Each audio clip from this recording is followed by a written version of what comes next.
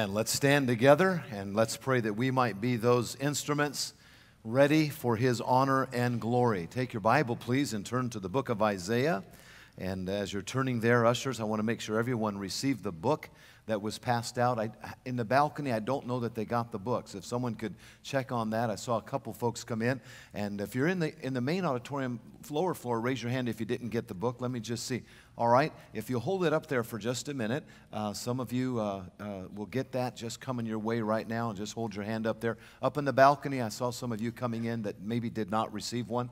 And uh, I'll only ask that you not read the book while I preach. How's that for a deal, all right? And uh, we're going to get to the book at the end, but I do want to get that into your hands now. Uh, and we'll, we'll be using this as we share some of the vision at the later part of the service tonight. Isaiah chapter 57, and of course, our theme verse from which I preached this morning is verse number 15. Isaiah 57 15. And I want you to follow with me as I read this verse now uh, for our evening uh, message time. Isaiah 57 15. For thus saith the high and lofty one that inhabiteth eternity, whose name is holy. I dwell in the high and holy place, with him also that is of a contrite and humble spirit, to revive the spirit of the humble and to revive the heart of the contrite ones. Would you read this verse with me, please? Ready, begin. For thus saith the high and lofty one that inhabiteth eternity, whose name is holy. I dwell in the high and holy place with him also that is of a contrite and humble spirit, to revive the spirit of the humble, and to revive the heart of the contrite ones. Let us pray. Father, we thank you for this day and for the way you have begun working. And Lord, we pray for revived hearts. We pray that as we study the meaning of revival, that you would convict us and move us. And Lord, we pray that through this process of purging and growing and worshiping you, that we would grow into the likeness of Christ, that we would return to our first love, and that we may see the greater works that you have in store for our lives and for our church. And I pray this in Jesus' name. Amen. You may be seated. This morning we learned that in Isaiah chapter 56 and 57, God, through his prophets, is speaking to the children of Israel, specifically to the southern tribe of Judah. He presents for us in the Word of God that these particular people, especially surrounding Jerusalem, had become disobedient, and now they were hearing the indictments of the prophet against them. It was the godless conduct of even the leaders of the people, even the priests, that was now bringing the imminent judgment of God upon the people. The Bible speaks of it in Lamentation chapter 4 and verse 13, where we read, For the sins of her prophets and the iniquities of her priests that have shed the blood of the just in the midst of her, they have wandered as blind men in the streets. They have polluted themselves with blood so that men could not touch their garments. The Bible speaks of the sins of the prophets, the iniquities of the priest. They had intermingled their worship with the worship of the pagan peoples around them, and God was displeased. We know from the Word of God, Exodus chapter 20, the Lord our God is a jealous God. He desires our full attention, He desires our worship. Had the prophets and priests, had the rulers turned to God in repentance and faith, He would have intervened on their behalf. He would have not allowed calamity to come into their life. He would have given them a way out. But instead, they persisted in their rebellion. Their hearts became hardened and calloused, their consciences were defiled. Publicly and privately, the people were devoted to idolatry and immorality. Many of us tonight sit in this place having been raised and influenced by the families we were raised in, by the culture all around us. And many times it's very easy to just bend with the culture. And revival is not about bending with the culture, It is about leaning towards God. It is about obeying the still small voice of the Holy Spirit. Unfortunately, many people in Judah were just kind of leaning with the cultures around them and the influences around them, and they had turned off the voice of God. They were not listening to the message of the prophets. With all of this as a bad news backdrop, there's still good news for the people of God because God has a word of encouragement for the faithful remnant, for those that would repent and turn to Him. God had built a spiritual highway where obstacles could be removed and where exiles might return into the land. And ultimately, that spiritual highway would become a literal highway because as the people repented, they would even be returning back from Babylon into Judah and Jerusalem. You see, the problem really began when their lifestyle and even their worship really became simply a matter of religious duty. You see, ritual and ceremony had a significant place in Israel's worship, but faith was not summed up or found in their ritual. And tonight, as we enter this new year, we must recognize that God desires reality, not ritual. There's nothing wrong with certain rituals. We have habits and patterns even in our own church. They bring order, and these are fine. But when we become ritualistic in just doing what we do and keeping the schedule and thinking that that will produce godliness, then we are following a pattern that can lead to powerlessness. Perhaps there were those who thought that since they kept the religious rituals of the law, uh, that it was all right to dabble in the other sins and religions around them. But God is saying to his people, my desire is not simply your ritualism. My desire is real worship from the heart. And so through Isaiah, he calls them back and he invites them in verse number 15. And he says, I'm willing to fellowship with those that have a contrite, a remorseful, and a humble spirit. Even though there are many proud that are around, even though there are many scorners in the midst, for anyone that would humble themselves, any of my people, that will humble themselves and seek my face and turn from their wicked ways and call upon my name, I will revive them. I will fellowship with them. And so we introduced this morning the theme of this year, which is the hope of this year. It is the hope of America. It is the hope of this church. It is the hope of every family. And that is returning to our first love May I say to you tonight, you may have a very conservative geopolitical position. You may have a very conservative outlook on life. You may have a very faithful attendance record in church. And you may have all of the right uh, crossing of the T's and dotting of the I's, even in the wonderful word fundamentalist. But may I say to you tonight that having all of the right position and all of the outward disposition without a revived heart, and we are a powerless people to see anything good for God. And so this morning, we begin studying the subject of revival using an acrostic of the word revive. And we learned this morning that no revival has been recorded in Scripture, whether at Ephesus, uh, whether with Jonah and Nineveh. Jonah had to repent. Whether in the revivals that you'll read about in the book given to you tonight, no revival has ever been recorded without, first of all, repentant hearts. People that suddenly, remorsefully turn from their sin, having a fresh glimpse of God, and we're willing to repent. We said this morning that repentance is the vomiting of self. It's getting to that place where we see God so high and so holy that we realize that we have been taking for granted His wonderful grace. We have been living lives that are displeasing and powerless in His eyes. Repentance is the first step in any revival. And repentance is shown in many ways. It may be the simple prayer that we pray tomorrow morning. It may be at the altar tonight.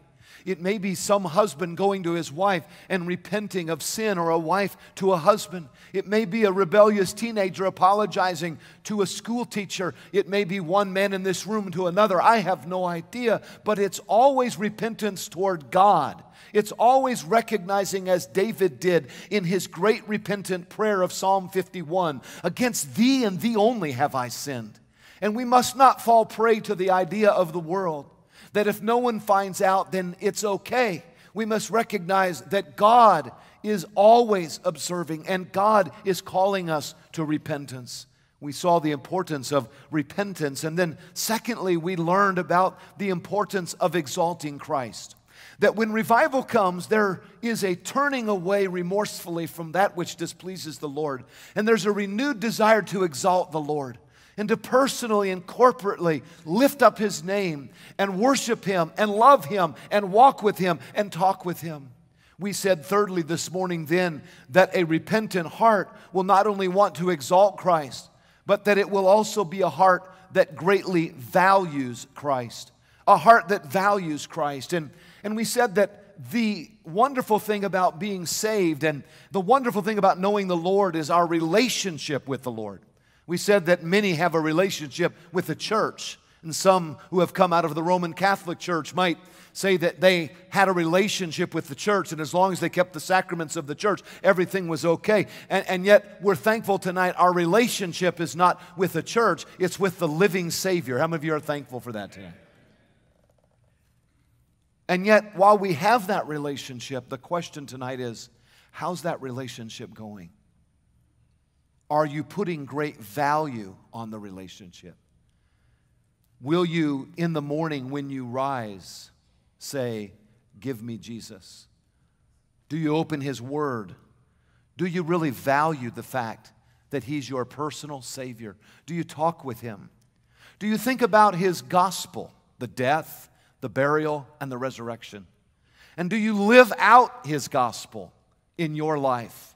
recognizing the necessity of being dead to self and alive to Jesus Christ. Do you ever think about when you were baptized, besides the fact that the water was cold, or besides the fact that you had to wear a funny gown or your wig fell off? Do you ever remember what someone tried to tell you? This is a picture of how you can have victory the rest of your life. Death to the old man resurrection to the new man, alive in Jesus Christ. Place great value on this life in Jesus Christ. That's what baptism represents. Not only the death, burial, and resurrection of Jesus, but the death, burial, and resurrection of you. Placing value on the Lord Jesus Christ. And so revival comes with repentant hearts who then recognize the desire to exalt Christ and to place great value again on the relationship with Christ, returning back to the place of your salvation, the joy of your salvation, recognizing it's not up to your husband to make you happy, it's not up to your wife to make you happy. The Bible teaches us that David said he encouraged himself in the Lord. Someone said, I always thought if I married the right person, then I would just be happy if I just married the right person. Friend, it's not about marrying the right person, it's about being the right person. God's calling us not to look at our spouse or our friend or the church member or some other situation, but to look within our own hearts and our own relationship with Jesus Christ and to place great value upon it this year. Tonight, I share with you the fourth characteristic of revival. Again, not to say that we can program revival, not to say that if we do this, we'll have revival. Really, what I'm preaching to you today is that when we have repentance and when revival comes, these are some things that I believe we will see. And the fourth characteristic that I have read about in the revivals in Wales and China, in the revivals that have swept throughout portions of Europe and throughout our own country, is intercessory prayer. When revival comes, there will be a great movement of prayer that is evident. There will be people praying, perhaps individually, perhaps with a friend, perhaps within their Sunday school class, perhaps from the orchestra or the choir, or just a group of ushers that come a, a little bit early. You know, God has given me certain administrative gifts, and sometimes I have to pull myself back from not trying to overly use them in the sense of organizing certain things. And I have learned if there's one thing I cannot organize, it's the moving of God. I would be foolish to think that if I organize 50 separate prayer meetings. Now, we're going to call the church to prayer. I do believe the pastor is responsible to provide this leadership and to provide opportunities for prayer and learning and edification and worship. But I'm, what I'm saying to you is that when revival comes, the Holy Spirit begins to pull people together into a heart for prayer, to pray for one another. And intercession is when we pray for one another. It's when we pray for that wayward child. It's when we pray for that hurting couple. It's when we pray for ourselves. It's when we pray that God would heal a broken community. 1 Timothy 2 and 1 I exhort, therefore, that first of all, supplications, prayers, intercessions, and giving of thanks be made for all men. Sometimes I think about people whose lives have been recorded in ruin. I think about people who've gone AWOL. I think about preachers that I've known that have fallen from the ministry since I began some 35 years ago in the ministry. And one thing I think about, I never think about the gory details of the sin, and I do not think with a condemning heart because I believe the church should always have a heart for restoration. But one thing I think about is this Did I pray for that member enough?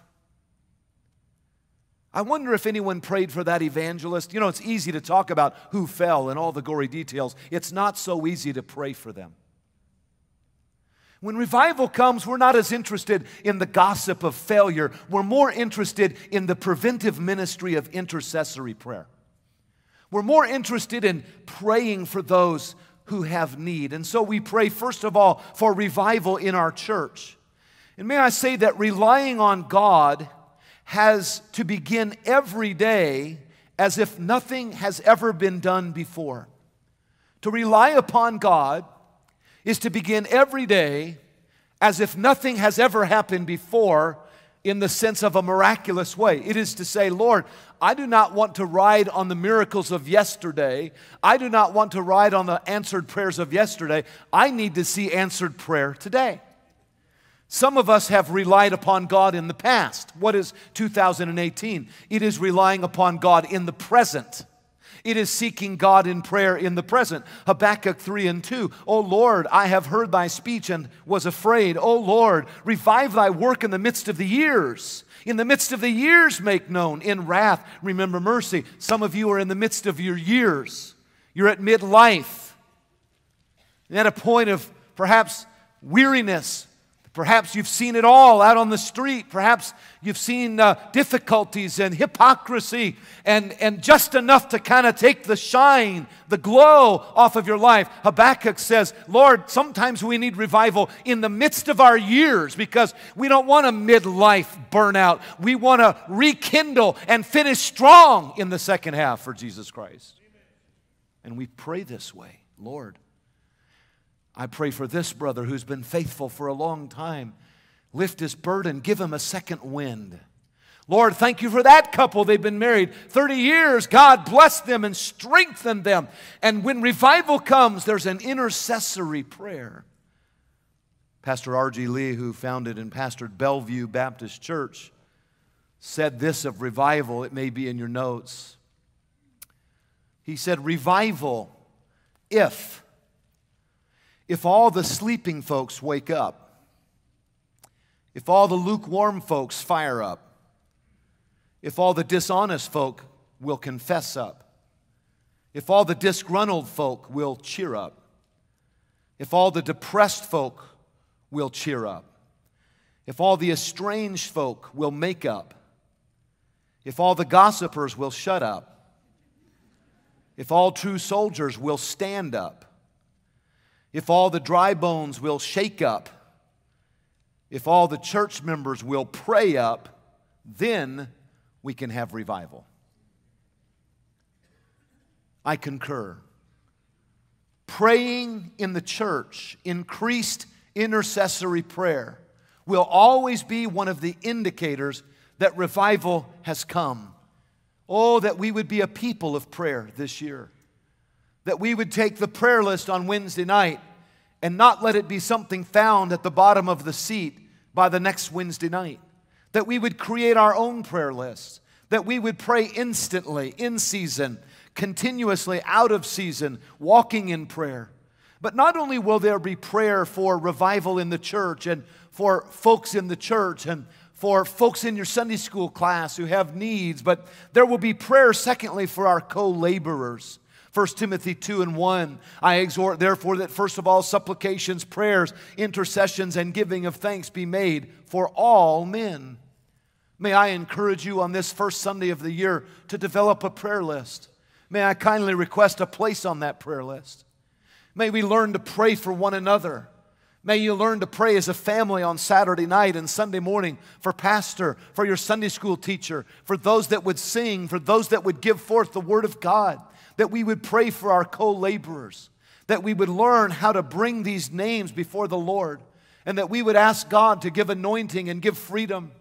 We ought to begin praying now. Not only should we sign up on the prayer sheet for the week of awakening, but just in your own prayer, praying for the week of awakening, praying for Dr. Getz, that the Lord would give utterance. Revival in the church is needed. Prayer for revival in the church. Prayer uh, for our co laborers. And then, of course, we must always pray with thanksgiving.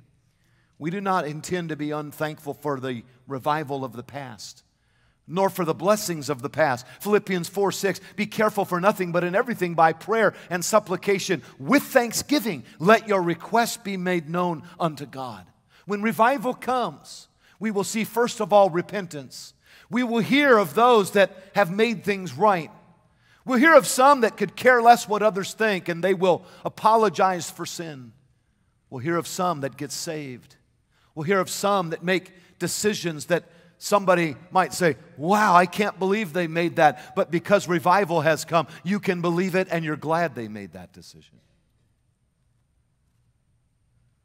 Repentance, exalting of Christ, greater value on Christ. And fourthly, interceding in prayer. There's a spirit of prayer before and during the revival. And then, for, uh, fifthly, this evening, the, the letter V is for the word volunteer. When revival comes, there's no longer a pleading, there's no longer a working up of emotion. There is a volunteer spirit that is of the Holy Spirit. And I want to show you the best example I can from the book of Isaiah. Look, if you would, at Isaiah chapter 6, if you would turn there just for a moment. Let's see a man having a one man revival. Isaiah chapter 6, verse number 1.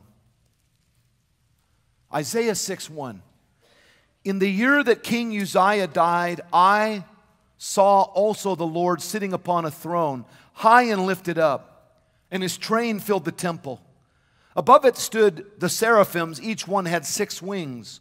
With twain he covered his face, and with twain he covered his feet, and with twain he did fly. And one cried unto another and said, Holy, holy, holy is the Lord of hosts. The whole earth is full of his glory. Again, revival comes when we have a picture of the holiness of God, when we recognize that we have trampled upon the holiness of God, when we forget that God has said, Be ye holy, for I am holy. And Isaiah sees the Lord high and lifted up, and, and, and he hears this cry, Holy, holy, holy. Verse 4 And the post of the door moved at the voice of him that cried, and the house was filled with smoke. Then said I, Woe is me, for I am undone because I am a man of unclean lips, and I dwell in the midst of the people of unclean lips, for mine eyes have seen the King, the Lord of hosts. Now we see the repentance. Here we see a man that has a glimpse of God. He now is repenting. He says, Woe is me. I'm undone. I'm unclean. I'm unworthy to stand here. None of us, by the way, are worthy to stand in the presence of God. It's only by the grace of the Lord Jesus Christ. And Isaiah tells us in verse 7, verse 6 Then flew one of the seraphims unto me, having a live coal in his hand, which he had taken with the tongs from off the altar. And he laid it upon my mouth and said, Lo, this hath touched thy lips, and thine iniquity is taken away, and thy sin is purged. How many of you are thankful that your sin is purged tonight? By the grace of God. And so Isaiah is experiencing a one man revival. Here's the time of repentance. Here's a time when he's greatly valuing God's presence. Here's a time uh, when he is witnessing the holiness of the Lord. And what is his response to all of this? In verse number eight, also I heard the voice of the Lord saying, Whom shall I send? And who will go for us? Then said I, here am I, send me. He didn't read it in the bulletin. There wasn't an announcement made. It wasn't a Sunday school teacher or the soul winning director. It wasn't anything like that. It was just a fresh glimpse of who he is and who God is. And when he realized the wonderful grace of Jesus and when he heard there might be a need, he said, Here I am, here I am. I want to be a part. Lord, send me. I'll do whatever you want me to do. A one man revival. When revival comes, you want to serve the Lord. It's your desire to be a part of His work. And then I want you to notice in this passage, Isaiah is purified in verse 6, but volunteers in verse number 8. He says, Here am I, Lord. Let me give you just a few thoughts on volunteering for the Lord. First of all, when revival comes, we will realize it is a privilege to serve the Lord Jesus Christ. I'm convinced that instrumentalists and musicians and teachers and preachers and all of us who serve the Lord, all of us who have that first love uh, to be a part and singing and preaching and praying and serving, it, it can become something of a routine if we're not careful. Sometimes we just kind of start going through the motions. And when revival comes, suddenly we realize, you know, I may not have 10 or 20 more years on this life. It's a privilege to do this. I'm so thankful to God that I can preach and sing and witness and serve and coach and help and cook and teach and be a mom and be a dad and do it all under the Lord. Suddenly, when revival comes, the mundane becomes special again. I saw a video recently of Senator John McCain speaking right after he had his surgery to remove or to take a biopsy of a brain tumor. And uh, whether you care for John McCain or not is not the point. The point I want you to see is that he is a man who unquestionably loves his country. I have a hard time with anyone that would speak against a prisoner of war for our country. But I want you just to take a moment and try to capture as he speaks his heart just about serving our country. And just think about this with me for a moment. What a great honor and extraordinary opportunity it is to serve in this body. It's a privilege to serve with all of you. I mean it. Many of you have reached out in the last few days with your concern and your prayers, and it means a lot to me. It really does. I've had so many people say such nice things about me recently that I think some of you must have me confused with someone else. I appreciate it, though, every word, even if much of it isn't deserved. I'll be here for a few days. I hope managing the floor debate on the defense authorization bill, which I'm proud to say is again a product of bipartisan cooperation and trust among the members of the Senate Armed Services Committee. After that, I'm going home for a while to treat my illness. I have every intention of, of returning here and giving many of you cause to regret all the nice things you said about me. and I hope to impress on you again that it is an honor to serve the American people in your company. When I heard that, I could not help but sense the reality of his conviction that it is an honor to serve the American people. And it is an honor. And thank God for those who serve the American people. But when revival comes, you will once again realize the high and holy honor of serving the King of Kings and the Lord of Lords you will realize the great privilege of being involved and volunteering to serve the Lord Jesus Christ. And you'll have the spirit again of John 6 and 9, the little lad that had the barley loaves and the fishes, and, and he brought them to Jesus. And the spirit of the psalmist in Psalm 116 who said, What shall I render unto the Lord for all of the benefits he has given toward me? In other words, I, there's not enough that I could do for the Lord Jesus Christ. And when revival comes, we'll return to that servant's heart for even even the Son of Man came not to be ministered unto, but to minister and to give his life a ransom for many. And just think about it tonight. Think about the revival that brought Lancaster Baptist into being, and think about the many times when God would touch and when God has moved in our midst. And whether it was Dr. Hudson in 1994 and 1995 or other meetings where the Lord just began to purge and save and touch and, and restore. How did that happen? It happened by the work of the Holy Spirit. And one of the responses was people that became involved in helping to set up school and turning wrenches and, and building and witnessing and cooking and loving and caring and driving buses and going to camps and being involved in missionary outreaches. And, and all of this has not been the product of some manufactured leadership style. It has been the product of revival, and we must have a fresh anointing of God if we'll see a fresh volunteerism for God. When revival comes, there's an understanding of the privilege to serve. Oh, you say, but Pastor, it's getting rough in California. Oh, I didn't know that our job was just to try to have revival amongst those that already have many Baptist churches. I didn't know that you only needed revival uh, in places where there's an abundance of conservatism. I thought maybe it might be a good thing if revival could actually happen in a place like California. I understand, folks. I know where we live. I know who the governor is. I know they've legalized pot. I, I want you to understand, however, tonight, I'm thankful for missionaries in Africa who weren't missionaries just until it got a little bit different difficult. And then they said, I'm going to move back to Oklahoma where I can just uh, settle in and, and just do some things my own way. I want to recognize tonight the need that we have in our lives. And once we recognize that, the need to volunteer so that others might see the love of the Lord Jesus Christ. And I know some of you, even in law enforcement, you see the worst of the worst. And sometimes in the ministry, we see that as well. And it might be easy to become cold and, and calloused, and it might be easy to just say, I'm done with this. But I believe tonight that when volunteerism comes, you realize, hey, you know what? There might be a teenager I can rescue from the perishing and save from the dying. And there might be somebody out there that I could touch their life with the grace of God. And they'll not have to experience some of what I've seen when I've made those calls and seen uh, those difficulties. And we must have a revived heart in order order to maintain passion and in order to maintain a viability of ministry in 2018. And I want to encourage you tonight the world's not becoming a better and better place. It will be when Jesus comes again, but we can make this corner of the world a better place by the grace of God. We can see God do revival in our hearts and lives. But we will see when it comes, we'll return to a servant's heart will remember the eternal reward. Can I remind you of something? Turn, if you would, to 2 Corinthians 5 and 10. 2 Corinthians 5 and 10.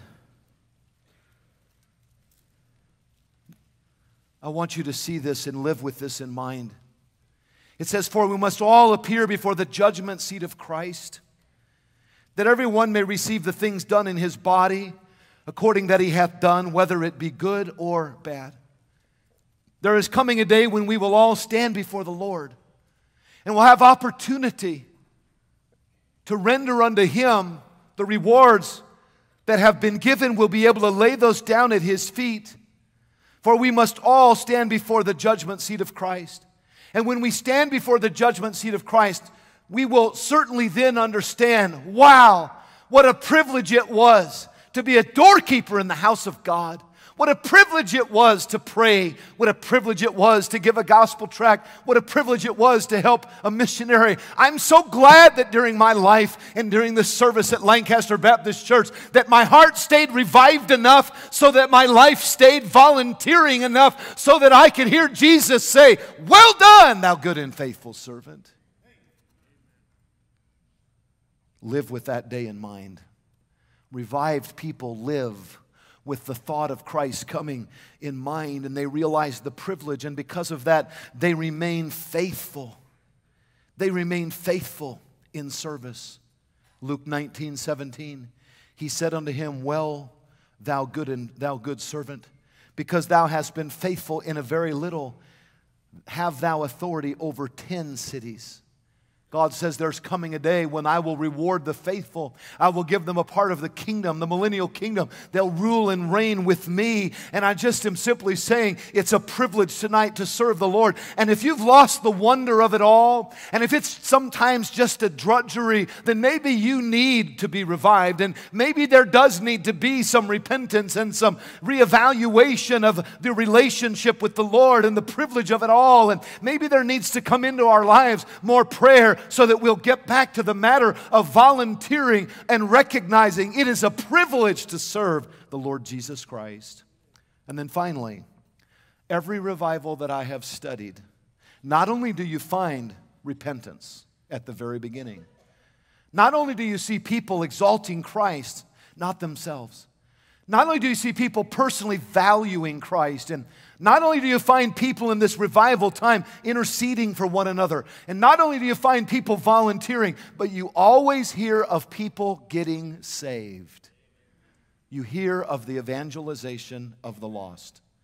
A hundred thousand in Wales, thousands in China, thousands in Korea.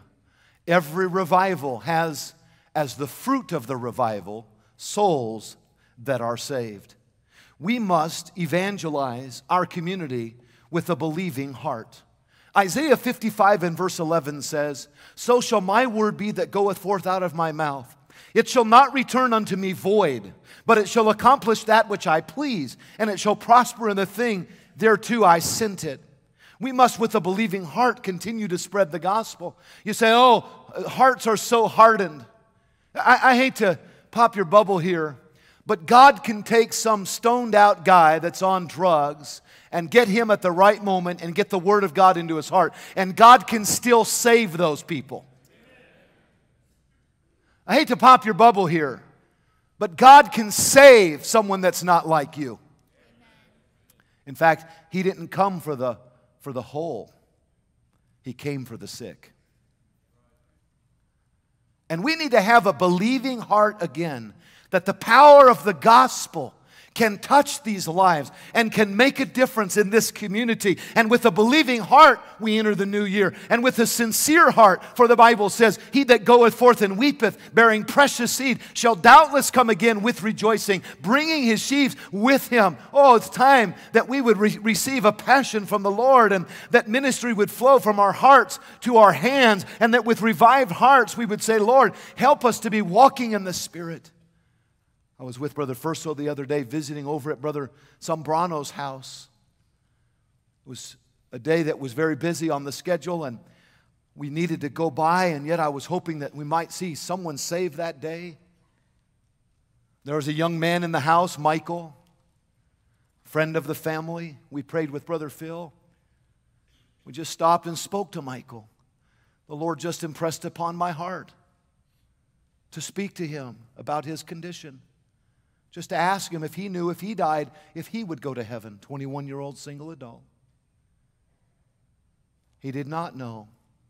Just ask him, could we show you from the Bible? He said, sure. We sat down and went through Romans 3:10, Romans 3:23, Romans 5:8, went through John chapter 3, went through Ephesians 2 and after about 30 minutes Michael prayed to accept Christ as savior. Oh, sometimes the devil wants us to think, you know, everybody behind those doors, they're all hardened hearts and they're all crooked and they're all mean and they're all the big bad wolf and none of them want to talk and none of them want to know about God and they're probably all in there smoking marijuana right now. There's a lot of them that just need somebody to tell them that God loves them, that Jesus died for them and when revival comes, in every account I've read of revival, people came to know the Lord Jesus Christ. Because revived people talk about Jesus, and communities hear about Jesus anew and afresh. And so we see the need for revival tonight. We see this definition and we see these six characteristics. And I want you to say them with me tonight. We see that revival is indicated with six characteristics. The first one is and then we begin to, and personally, we value Christ. And then fourthly, we begin to what? intercede for one another. And, and as we're interceding, the Spirit of God, because of renewed love for the Lord, we begin to do what? We begin to. And, and then we cannot help but evangelize and tell others about the Lord and all that He has done for us.